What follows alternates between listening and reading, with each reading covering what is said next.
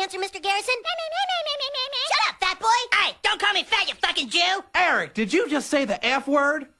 Jew? No, he's talking about fuck. You can't say fuck in school, you fucking fat ass. Kyle! Why the fuck not? Eric! Dude, you just said fuck again. Stanley! Who? Kenny! What's the big deal? It doesn't hurt anybody. Fuck, fuckity, fuck, fuck, fuck. How would you like to go see the school counselor? How would you like to suck my balls? What did you say? Uh, I'm sorry, I'm sorry. Actually, what I said was...